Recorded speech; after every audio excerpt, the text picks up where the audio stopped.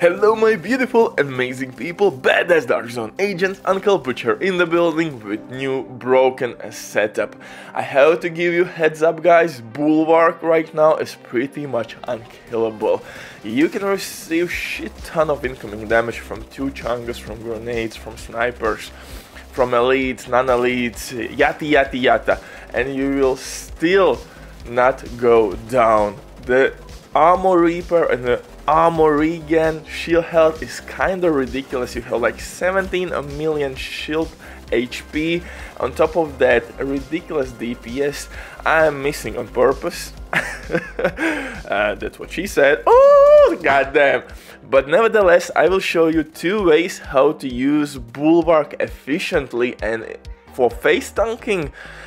Bulwark has never been better, I think, and if you will use Forge Named Holster, god damn the shield health, you could possibly even use um, Deflector Shield as your DPS source, but I will test it later on. Right now I am on Bulwark meta, but before we continue, quick word with the sponsor Dving.net. If you don't have enough time or good teammates, but you still want to have all the best items or maybe new items from last update, like Mosquito Pistol for example, then hit these guys up. They are best in the business. They have worked, they have been working for many many years, and uh, with my promo code RBDIV, you will receive 15% discount on absolutely all services. So it's pretty goddamn good uh, deal. And if you have any questions, don't hesitate. Drop your comment down below in comment section or contact the operator. But now let's move back to this bulwark setup. And with this new update, uh, I think that my main priority will be a couple builds. First of all, Bulwark, because I want to test out how Face Tank works and it's absolutely amazing. Second setup which I want to test out is Hunter's Fury gear set which received nerf in terms of health on kill attribute. I will pair up it with new gear set which can give us 60% health uh, so we can mitigate that uh, loss. I will test that build out and clutch because in this update we can reach like 1.56 million health and I just wanna see how perfect clutch works now in PvP and PvE with that ridiculous amount of health. In this one we are using technician specialization. Why? Because we will receive extra skill damage or skill repair, it depends on your preference, but of course we need skill repair, and we will get linked laser point attachment which we will use on our Kingbreaker named assault rifle and artificial hive. This hive will heal our shield on the fly, although my repair power is not that strong, only 20%, you can boost that power with mods. I'm using protection from elite mods, I have almost 40% um, protection from elites, but you could gain like 60% uh, repair power with perfect 20% mods. And just look at the shenanigans. None and that's non-elite enemy guys I'm healing myself they even can't get my shield to half health it's ridiculous man non-elite with all that uh, protection from elite, prote elite enemies has no chance whatsoever. Only downfall for this build is that maybe DPS output is not that high. You will take uh, more time to kill enemies, but for sure you will complete any stronghold.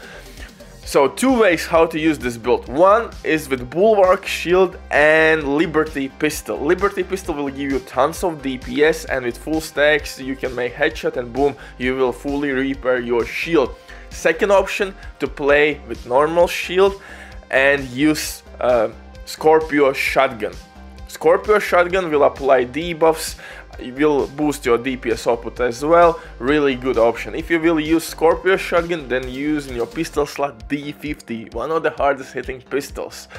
If you're gonna use Liberty, exotic pistol, then in your shotgun slot use the lefty named shotgun with perfect sledgehammer talent. As your assault rifle choice, I would recommend you to use Kingbreaker with perfect flatline. It's still one of the best assault rifles in the game. Yes, you could use maybe shield splinter uh, FAMAS, Carbine 7, all those assault rifles are good, but with perfect flatline talent and linked laser attachment, this combination is still one of the best in the games.